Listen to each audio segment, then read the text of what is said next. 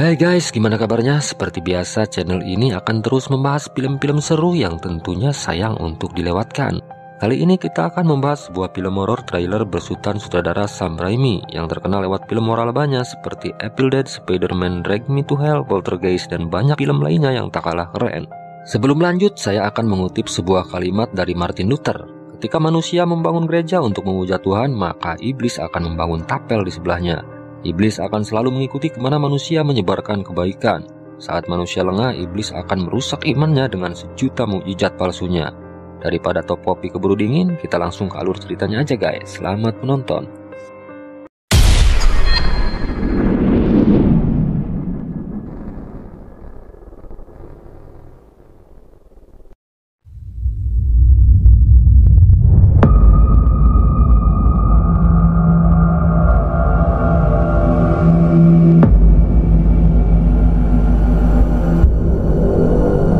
Dia ditugaskan perusahaan medianya Examiner untuk mendapatkan berita seputar kasus mutilasi sapi ilegal di peternakan Banfield. Saat Pin melihat ke bawah, dia dikagetkan dengan munculnya sebuah boneka bayi Karen yang tiba-tiba menampakkan diri di bawah pohon. Pin mulai merasakan ada hawa mistis yang membuat bulu kuduknya merinding. Karena takut membawa pengaruh negatif, dia pun menginjak kepala bayi Karen sampai pecah. Karena sudah larut malam, Pin menunda mewawancarai pemilik peternakan sapi. Dia memutuskan untuk mencari sewa kamar di sekitar peternakan Banfield. Saat tengah asik memacu mobilnya, tiba-tiba di tengah jalan Pin dikagetkan dengan kemunculan sosok wanita berdasar putih yang tiba-tiba muncul begitu saja di tengah jalan. Tangan Pin refleks membanting setir ke pinggir jalan. Naas karena mobil melaju dalam kecepatan tinggi, mobil Pin meluncur ke dalam hutan. Wartawan tersebut tak mampu mengendalikan mobilnya dan akhirnya mobilnya terhenti setelah menabrak pohon di tengah hutan.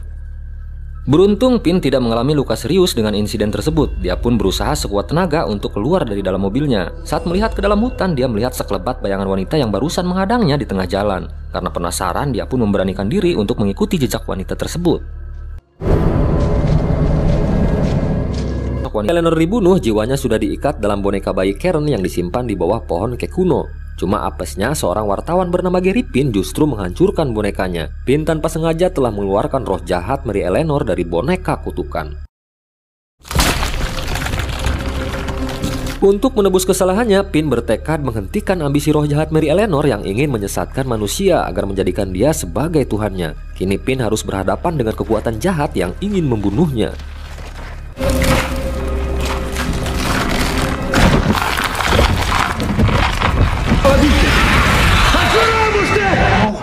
Now do you believe me?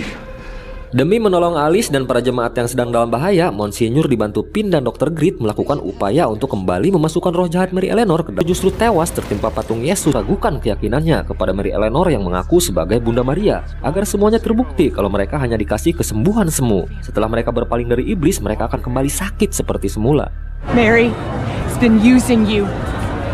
Dan di akhir cerita, Alice mulai menyadari ada yang tidak benar saat bisikan yang dia yakini sebagai ucapan Maria terdengar mengerikan saat sedang tunarungu kalau sampai meragukan keyakinannya kepada iblis yang mengaku sebagai Bunda Maria.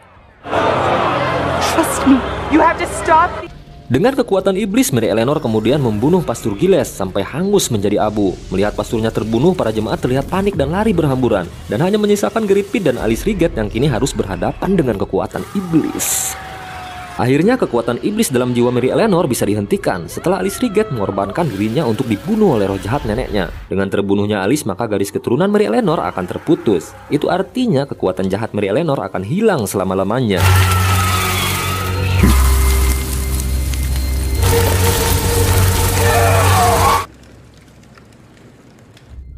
Melihat Alice nekat mengorbankan nyawanya untuk keselamatan dirinya, Gary Pin tak kuasa menahan kesedihan. Dia pun berdoa kepada Tuhan agar memberikan kesempatan buat Alice untuk tetap hidup dan memperbaiki kesalahannya.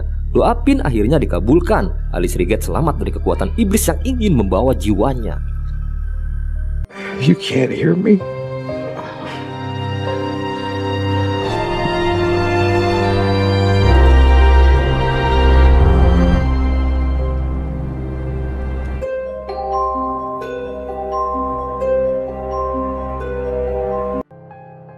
Banyak sekali pesan moral yang ingin disampaikan dalam film ini. Pada dasarnya, iblis akan selalu menjadi musuh alami bagi manusia yang beriman.